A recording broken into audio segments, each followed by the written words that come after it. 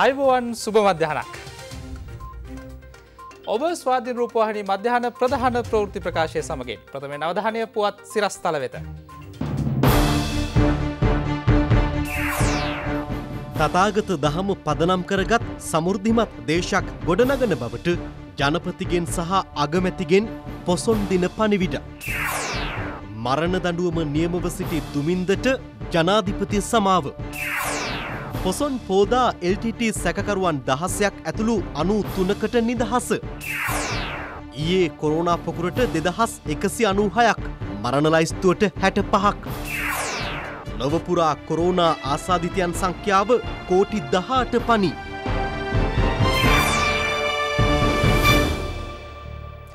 අන්දකාරයේ ගිලී සිටි ලක්වාසී ජනතාව බුදුන් වහන්සේ අනුදැන වදාළ ධර්ම මාර්ගයට යොමු කළ උතුම් පොසොන් පොහෝදිනය අදයි. මිහින්තලා උදාගිරෙන් ලක්දිවට පෑයූ පොසොන් සඳ අපේ ජනජීවිතය සමාජය හා සංස්කෘතිය නව වෙනසකට ලක් කලා. අනුබුදු මිහිඳු මහරහතන් වහන්සේ ප්‍රමුඛ ඉත්තිය උත්තිය සම්බල බද්ධසාල යන ස්වාමින් වහන්සේද සුමන සාමනීරයන් වහන්සේ සහ බණ්ඩුක උපාසක යන ධර්මදූත පිරිස සදහම් පණිවිඩය රැගෙන අදවැනි දිනක ලක්දිවට පැමිණියා. මිහිඳු මහරහතන් වහන්සේට දේවානම් පියතිස්ස රජතුමා හමුවන විට රජු ඇතුළු පිරිස මුවදඩේ නිරත වූ බව ඉතිහාසයේ සඳහන්. රජතුමාට චුල්ලහත්ති පදෝපම සූත්‍රය දේශනා කරමින් ලක්දිව බුදුසසුන පිහිටවීමේ ආරම්භය සටහන් වූයේද අදවැනි උතුම් දිනකයි. දඹදිව ධර්මාශෝක අධිරාජ්‍යයාගේ දායකත්වයෙන් පැවැත් වූ තුන්වන ධර්ම සංකායනාවෙන් පසු රටවල් නවයකට ධර්මදූත කණ්ඩායම් පිටත් කර හැරුණු බව ශාසන ඉතිහාසයේ සඳහන්. එම ධර්මදූත ව්‍යාපාරය ශ්‍රී ලංකාව තුළ වඩාත් සාර්ථක වුණා. එවකට ලක්දිව පාලනය කළ දේවානම් පීතිස්ස රජතුමා ඇතුළු රටවැසියන් බුදුදහම වැළඳ ගත්තා. බුදුදහම ව්‍යාප්තවීමත් සමග මෙරට ආගමික සමාජීය සංස්කෘතික හා ආර්ථිකයන ක්ෂේත්‍රවල පුනර්ජීවය සිද වුණා. මිහිඳු මහරහතන් වහන්සේ ලක්දිවට වැඩම කිරීමෙන් පසුදින අනුරාධපුරේදී දේශනා කළ විමානවත්තු පේතවත්තු හා සච්ච සංයුක්ත ධර්මදේශනාව අසා අනුලා දේවී ඇතුළු පන්සියයක් කාන්තාවන් සෝවාන් ඵලයට පත් වුණා. ලාංකික ජනතාව ලොව කිසිම සංස්කෘතියකට ගැති නොවී ස්වාධීන ලෙස නැගී සිටියේ අදවැනි පොසුන්පුර වසලොස්සක පොහෝදිනේ ලැබුණු බුදුදහමේ ආලෝකය ඔස්සේ. පොසොන් පොහෝදා විවිධ වැඩසටහන් ක්‍රියාත්මක වන්නේ කොරුණා ව්‍යසනය මධ්‍යේ සෞඛ්‍යාරක්ෂිත ක්‍රමවේදයන්ට අනුකූලවයි. අග්‍රාමාත්‍ය මහින්ද රාජපක්ෂ මහතාද නිවසේ සිට සිල් සමාදන් වුණා. කොවිඩ් වසංගත තත්ත්වය හමුවේ නිවසේ සිට ආගමික වතාවත්වල යෙදෙන්නැයි දුන් උපදෙස් අනුව යමින් අග්‍රාමාත්‍ය මහින්ද රාජපක්ෂ මහතා අද උදැසන තංගල්ල කාල්ටන් නිවසේදී සිල් සමාදන් වුණා. තංගල්ල වනවාසී කුඩා විහාරයේ පූජ්‍ය පොල්වත්තේ පේමානන්ද ස්වාමින් වහන්සේ ආගමික වතාවත් මෙහෙය වූවා.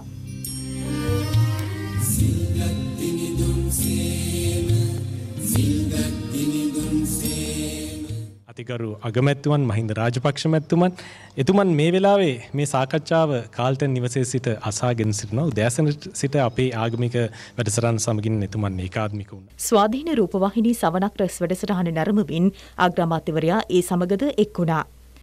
ස්වාධීන රූපවාහිනිය සෑම පොහේදාකම විකාශය කරන සවනක් රැස් වැඩසටහන මෙවර ගෙන එනු ලබන්නේ සිතුල් පව්ව රජමහා විහාරස්ථානය කේන්ද්‍ර කරගනිමිනුයි. ලක්හඬ ගුවන් විදුලියේ ශාසනාලෝක වැඩසටහනද සිතුල්පව රජමහා විහාරස්ථානයේදී පැවැත්වුණා. ස්වාමින් වහන්සේ වෙත දහම් ග්‍රන්ථ කට්ටල පූජා කිරීම මෙහිදී සිදු වුණා. මේ අතර අපවත් වී වදාළ අග්ගමහා පණ්ඩිත අතිපූජ්‍ය බලංකුට ආනන්ද මෛත්‍රී මහනාහිමියන්ගේ විශේෂ ධර්මානුශාසනාවක් අද පස්වරු එකට ස්වාධීන රූපවාහිනී ඔස්සේ විකාශය කරනවා. කොරෝනා ව්‍යසන හේතුවෙන් නිවසට කොටු වී සිටින සැදැහැවතුන්ට අස්වැසිල්ලක් ලබා දීමේ අරමුණිනුයි ස්වාධීන රූපවාහිනිය මෙම පියවරගෙන ඇත්තේ. මරණ දඩුවම නියමව සිටි හිටපු පාර්ලිමේන්තු මන්ත්‍රීවරයෙකු වන දුමින්ද සිල්වා මහතාට ජනාධිපති සමාව හිමි වුණා. ඒ අද පොසොන් පොහොදා සිරකරුවන් පිරිසකට නිදහස ලබාදීමට සමගාමීවයි. හිටපු පාර්ලිමේන්තු මන්ත්‍රීවරයෙකු වන භාරත ලක්ෂ්මන් ප්‍රේමචන්ද්‍ර මහතාගේ ඝාතනය සම්බන්ධයෙන් ලද චෝදනාවලට අනුවයි දුමින්ද සිල්වා මහතාට මරණ දණ්ඩනය නියම වී සිටියේ. අද දින ජනාධිපති සමාව ලැබීමත් සමග දුමින්ද සිල්වා මහතා බන්ධනාගාරයෙන් පිටව යාමට නියමිතයි. කොළඹ මහාධිකරණය මගින් දුමින්ද සිල්වා මහතාට මරණ දඬුවම නියම කෙරුණේ දෙදහස් දහසේ වසරේ සැප්තැම්බර් හය වනදායි. භාරත ලක්ෂ්මන් ප්‍රේමචන්ද්‍ර මහතා ඝාතනයට ලක් වූයේ දෙදහස් එකොළහ වසරේදී. දුමින්ද සිල්වා මහතා ඇතුළු දහත්තින් දුනෙකු එම නඩුවේ විත්තිකරුවන් ලෙස නම් කර තිබුණා. ජනතා කේන්ද්‍රීය ආර්ථික ඉලක්ක සපුරාගත යුතු වන්නේද සෞභාග්‍යවත් දේශයක් ගොඩනැගිය යුත්තේද මහපොළව සතා සිව්පාවා ගහකුලට සංවේදී පුරවැසියන් ලෙස බව තම දැඩි විශ්වාසයයි.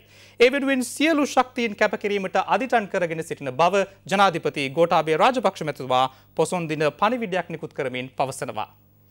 මහින්දාගමනය ශ්‍රී ලාංකික ඉතිහාසයේ ආගමික වශයෙන් වටිනාම සන්ධිස්ථානයයි. අටලෝ දහමින් කම්පා නොවී ඒ දෙස උපේක්ෂා සහගතව බැලීමට පුරුදු කලාසේම යහ ජීවන අත්දැකීම්වල පදනම බවට එම දහම පත් වුණා. දසරාජ ධර්මය පෙරටු කරගත් රාජ්‍ය පාලනය පිළිබඳ විශිෂ්ට ආකල්ප තුළින් අභිමානවත් රටක් ලෙස ලොවට පිවිසීමට හැකි වූ බව ජනාධීපති ගෝටාබි රාජපක්ෂ මැතිතුමා පවසනවා. අතීත පාලකයන් එලෙස අපේ රට සමෘද්ධිය කරා මෙහෙ වූ අසේම යහපත් රටක් ගොඩනැගීමට එම තතාගත දහමත් දසරාජ ධර්මත් පදනම් කරගත් රාජ්‍ය සංකල්පය සිය පාලනයට පූර්වාදර්ශය කරගන්නා බවද ජනාධීපතිතුමා සඳහන් කරනවා. පොසොන් පොහේ වෙනුවෙන් පණිවිඩයක් නිකුත් කරන අග්‍රාමාත්‍ය මහින්ද රාජපක්ෂ මහතා පවසන්නේ බුදු දහමේ උතුම් හරය නිවැරදිව තෝරා බේරා ගැනීමට බෞද්ධ දර්ශනය අනුව අනාගත දිවිප වෙත සැලසුම් කර ගැනීමට දුෂ්කරව ගෙවා දමන මෙම කාලය ඉතා වැදගත් පවයි. මිහිඳු මාහිමියන් හඳුන්වා දුන් බුදුදහමේ ජීව ශක්තිය නිසා ශ්‍රී ලාංකිකයන් ලොව කිසිදු ජනවර්ගයකට නොදෙවෙනි ශ්‍රේෂ්ඨ ජාතියක් ලෙස පෙරට ආබවද අග්‍රාමාත්‍යවරයා සිහිපත් කරනවා. මෙම උතුම් පොසොන් පොහෝ දිනය ධර්මාවබෝධය පිණිස සිත් පහන් දැල්ලූ අර්ථාන්විත දිනයක් බවට පත්වේවායිද අග්‍රාමාත්‍යවරයා ප්‍රාර්ථනා කරනවා. ලොවම වෙලාගත් ව්‍යසනය හමුවේ බුදුදහමේ ආධ්‍යාත්මික හරය මනාව සිත් සතන් සූපත් කිරීමට හේතුවී ඇතැයි ජනමාධ්‍ය අමාත්‍ය කෙහෙලි රඹුකැල්ල මහතා පවසනවා. මිහිඳු මාහිමියන්ගේ ලංකාගමනය ආගමික සංස්කෘතික සාමාජීය දේශපාලනික ආර්ථික ආදී සෑම ශේත්‍රයකම ඇරඹුම බවයි අමාත්‍යවරයාසිය පොසොන් දින පණිවිඩයෙන් තවදුරටත් සඳහන් කරන්නේ. පොසොන් පොහොය නිමිත්තෙන් සිරකරුවන් අනු තුන් දෙනෙකුට ජනාධිපති සමාව හිමිව තිබෙනවා. නිදහස ලැබුවන් අතර LTT සැකරුවන් දහස්සේ දෙනෙකුද සිටින බව බන්ධනාගාර මාධ්‍ය ප්‍රකාශක චන්දන ඒකනායක මහතා පවසනවා. අධිගම ජනාධිපතිතුමන් විසින් විශේෂ සමාවක් පිරිනමා තිබෙනවා. ඒ අනුව සියලුම දඩ අවෝසි වෙනවා. ඒ වගේ සුළු දඬුවම් වලට LTT ක්‍රියාකාරකම් මත සිර දඬුවම් ලැබූ සිරකරුවන් පැතක නිදහස් වීමට නියමිත සිරකරුවන් 16 දෙනෙකුට ඇතුළු 93 දෙනෙකුට අත්පාව හිමි වෙනවා. ඊට අමතරව සෑම බන්ධනාගාරයකම ආගමික වැඩසටහන් ක්‍රියාත්මක වෙනවා. ඊට අමතරව විශේෂ ගණයේ තිරකරුවන් පූර්ස බන්ධනාගාරයේ අධිආරක්ෂිත බන්ධනාගාරයේ විශේෂ ගණයේ අපරාධකරුවන් පස් දෙනෙක් පළවෙනි වතාවට සිල් සමාදන් වෙන අදිනේ. ඒක විශේෂ කාරණයක්. ඕන අධිකාරිතුමාගේ ඉල්ලීමක් කරා සිල් සමාදන් වෙන. ඒ අනුව ඔවුන් සිල් සමාදන් වෙන අද දවසේ. ඊයේ දිනේදීද කොරෝනා ආසාධිතයෙන් වැඩිම සංඛ්‍යාවක් හඳුනා ගැනුනේ ගම්පහ දිස්ත්‍රික්කයෙන්. ඊයේ හඳුනාගත් සමස්ත සංඛ්‍යාව දෙදහස් එකසිය අනු හයක්. මරණ හැට පහක්ද තහවුරු කර ගැනුණා.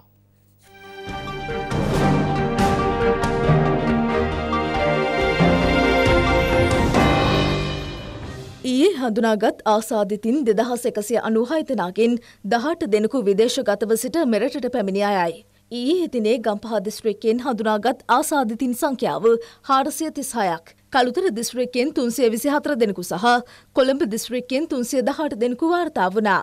ඊයේ වන විට කොරුණා වෛරසය ආසාධනය වූ දිවේනේ සමස්ත සංඛ්‍යාව දෙලක්ෂ හතලිස් හයිදහස් එකසිය නවයක්. ඉන් එක් ලක්ෂ හතලිස් දහස් අසූ එක් දෙනෙකුම වාර්තා වූයේ අලුත් අවුරුදු සමයෙන් පසුවයි. දැනට ප්‍රතිකාර ලබමින් සිටින සංඛ්‍යාව තිස් දෙදහස් දෙසිය දහනවයක්.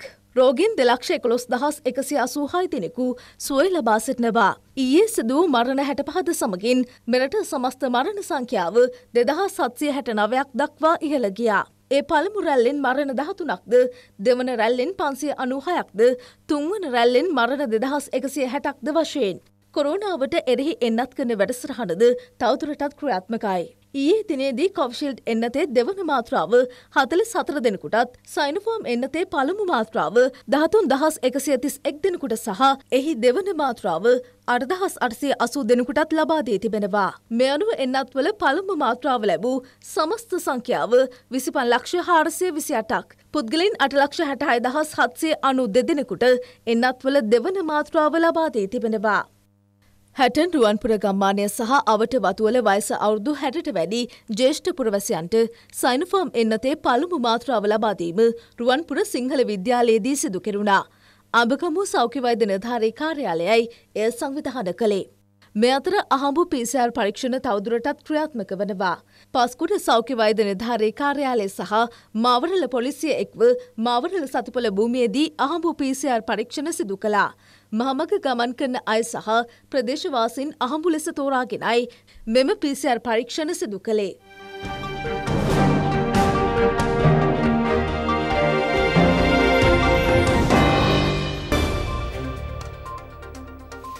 ඊයේ රාත්‍රී දහයේ සිට දිවයිනටම ක්‍රියාත්මක වන පරිදි පැන වූ සංචරණ සීමා හෙට අලුයම හතර දක්වා ක්‍රියාත්මක වෙනවා. සංචරණ සීමා පවත්නා කාලය තුළ නීති විරෝධී ක්‍රියාවන් හේතුවෙන් අත්තරංගුවට ගන්නා පුද්ගලයින් සඳහා අද දිනේ ඇප ලබාදීමක් සිදු නොවන බවයි පොලිස් මාධ්‍ය ප්‍රකාශක ජේෂ්ඨ නියෝජ්‍ය පොලිස්පති අජිත් රෝහණ මහතා සඳහන් කළේ. රටපුරා සීක්‍රයෙන් පැතිර යන කොරුණා වෛරසය පාලනය කිරීම සඳහා දෙවැනිටම ක්‍රියාත්මක වන පරිදි සංචරණ සීමා පැනවීමට රජය කටයුතු කළේ ඉකුත් මැයි මස විසියෙක් වනදායි. එම සංචරණ සීමා මැයි මස විසි පස් වනදා ලිහිල් කරනු අතර එදිනම රාත්‍රී එක්වලහට යළි පැනවීමට කටයුතු කළා.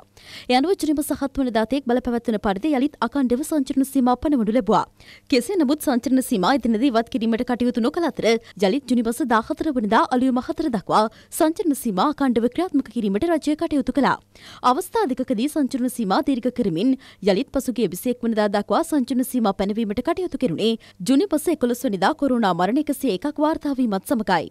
මෙම තත්ත්වය පිළිබඳ පූර්ණ විමර්ශනයකින් අනතුරුව ජනාධිපති ගෝඨාභය රාජපක්ෂ මැතිතුමා සෞඛ්‍ය නිර්දේශයන්ට යටත්ව පසුගිය 21 වන දින සිට රට යළි විවෘත කරනු ලැබුවේ පළාත් අතර සංචරණ සීමා සම්පූර්ණයෙන් තහනම් කරමින්. ඒ අනුව ජනතාවට අත්‍යවශ්‍ය සේවාවන් ඉටු කර ගැනීමට අවස්ථාව හිමි වුණා. යළිත් ඊයේ රාත්‍රී 10 සිට දිවයිනටම ක්‍රියාත්මක වන පරිදි සංචරණ සීමා පැනවීමට රජය කටයුතු කළ අතර එය හෙට අලුයම හතරෙන් අවසන් වීමට නියමිතයි. මේ අතර අද දිනේදීත් සංචරණ සීමා කඩ කරන්නන් සොයා අඛණ්ඩව මෙහෙයුම් ක්‍රියාත්මක වනවා. මෙම කාලය තුළ නිරෝධායන නීති කඩ කරන්නන් අත්අඩංගුවට ගත් පසු ඇප ලබා දීමක් සිදු නොකරන බවයි පොලිස් මාධ්‍ය ප්‍රකාශකවරයා වැඩිදුරටත් සඳහන් කළේ. පසුගිය පැය 24 කාල පරිච්ඡේදය තුළ නිරෝධායන රීතීන් වලට පටහැනිව කටයුතු කළ පුද්ගලයින් 442 දෙනෙක් පමණ අත්අඩංගුවට ගෙන තිබෙනවා. ඒ වගේම ඔක්තෝබර් මාස 30 වෙනි දින සිට මේ දක්වා කාලය තුළ නිරෝධායන රීතීන් උල්ලංඝනය කළ පුද්ගලයින් 42789ක් පමණ අත්අඩංගුවට ගෙන තිබෙනවා. අද දිනේත් ඒ ආකාරයටම මෙහෙයුම් සිදු කරනු ලබනවා. විශේෂයෙන්ම බස්නාහිර පළාතෙන් පිටවන සහ ඇතුළවන ස්ථාන 14කදී ඊයේ සිදු කරන ලද පරීක්ෂාවේදී පුද්ගලයන් 6694 දෙනෙක් පරීක්ෂාවට ලක් කර තිබෙනවා. ඒ වගේම ඔවුන් පැමිණි වාහන 3935ක් පරීක්ෂාවට ලක් කර තිබෙනවා.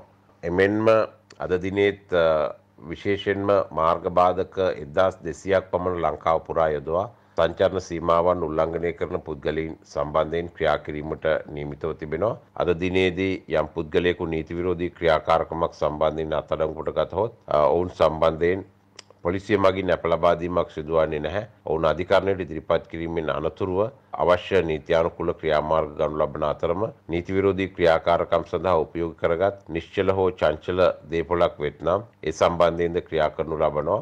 මේ අතර අදින පොදු සහතික පත්‍ර උසස් පෙළ විභාගයේ නැවත සමීක්ෂණ අයදුම් පත්‍ර කැඳවීම ආරම්භ කර තිබෙනවා. මෙවර අයදුම් පත්‍ර කැඳවනු ලබන්නේ ඔන්ලයින් ක්‍රමයට හෙවත් මාර්ගගත ක්‍රමයටයි. පවතින කොවිඩ් තත්ත්වය හේතුවෙන් මෙවර පාසල් අයදුම්කරුවන්ගේ අයදුම් පත්‍ර සඳහා විදුහල්පතිගේ නිර්දේශ හෝ අත්සන් අවශ්‍ය වන්නේ නැහැ. එමෙන්ම සාමාන්‍ය පොදු පරීක්ෂණයට ලකුණු තිහට අඩුවීම හේතුවෙන් විශ්වවිද්‍යාල ප්‍රවේශය සඳහා සුදුසුකම් නොලැබූ අයතුම්කරුවන්ට එම විෂය සඳහාද නැවත සමීක්ෂණ අයතුම් පත්‍ර ඉදිරිපත් කළ හැකි. අයදුම් පත්‍ර බාර ගැනීම ජුලි මස දසවනදායින් අවසන් වනවා. ප්‍රතිපත්ති පූජාවන්ට මුල් තැන දෙමින් අද දිනේ පොසොන් උත්සවය සමරන ලෙස මහා සංඝයා වහන්සේ සැදැහැවතුන්ගෙන් ඉල්ලා සිටිනවා.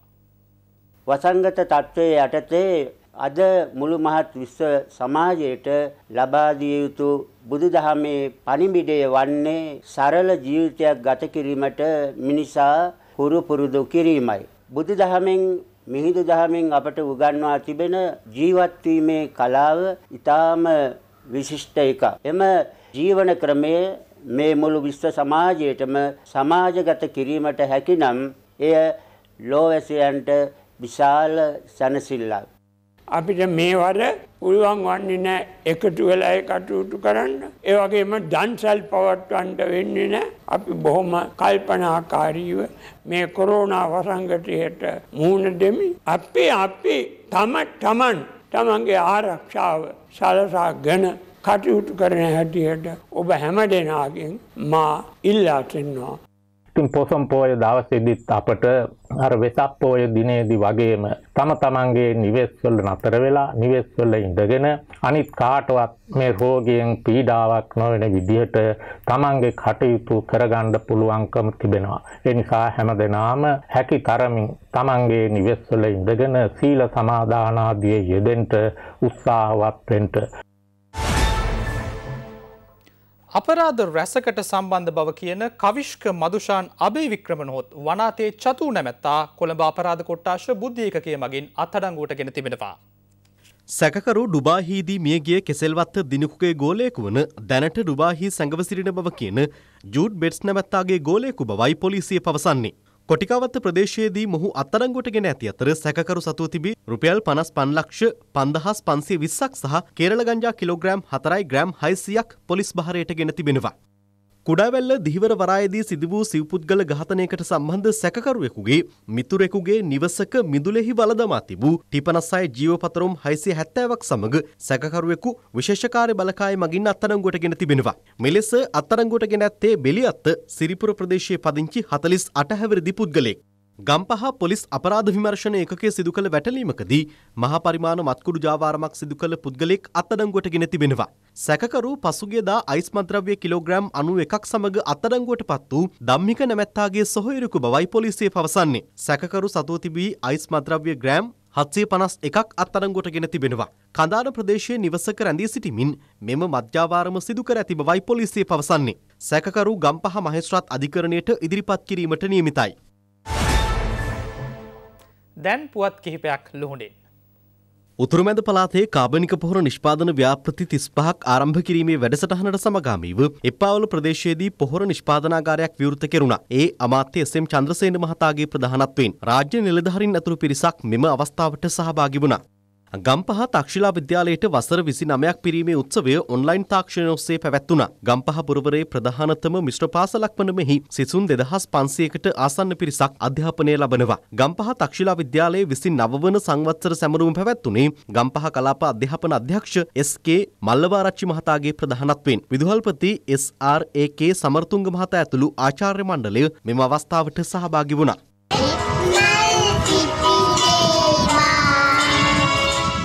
කොටිකාවත්ත හොන්නකායි ජපන් පෙරපාසලේ සිංගිති දරුදැරියන්ද පොසොන් සැමරීමට එක්වුණා. මෙම පෙරපාසලේ දරුදැරියන්ගේ පොසොන් බැතිගිය සරණයක් පළමුවරට පැවැත්වුණේ සූම් තාක්ෂණය ඔස්සේ. කොවිඩ් ප්‍රසංගතය හමුවේ පෙරපාසල වසා තිබුණද අපගේ ජාතික උත්සව පිළිබඳ අවබෝධයක් ලබා දීම සඳහා මේ සංවිධාන කර තිබුණේ එම පෙරපාසලේ පාලනාධිකාරිය මගින්. පෙරපාසලේ විදුහල්පතිනිය සුභානි ළමා හේවා අධ්‍යක්ෂිකා රුචිරා රුෂානි පෙරේරා යන මහත්මීන්ගේ අධීක්ෂණය යටතේ මෙම ප්‍රසංගය පැවැත්වුණා. දෙපානම VMS ශිෂ්‍ය සංගමයේ සමාජ සත්කාරක සේවාවන් කිහිපයක් සිදු කළා. ඒ VMS ඔබ වෙනුවෙන් අපි නමින් කොට්ටාව අතුරුගිරිය මහරගම ආදී ප්‍රදේශවල කොරුණාවෙන් පීඩාවට පත් වූවන්ට දිවා ආහාර පාර්සල් තුන්සියකට ආසන්න සංඛ්‍යාවක් බෙදාදීමද පසුගේදා සිදු කෙරුණේ මීට සමගාමීවයි. එම ශිෂ්‍ය සංගමයේ සමාජිකන්ගේ මූලිකත්වෙන් මෙය සිදු කෙරුණා. ඒත් සමගින් ස්වාධි රූපහණී මධ්‍යහන ප්‍රධාන ප්‍රවෘත්ති ප්‍රකාශය මෙතකින් නිමාවට පත්වෙනවා. අප යළිත් හමුවන්නේ සන්ධ්‍යා ප්‍රධාන ප්‍රවෘත්ති ප්‍රකාශය. සුබ දවසක්. This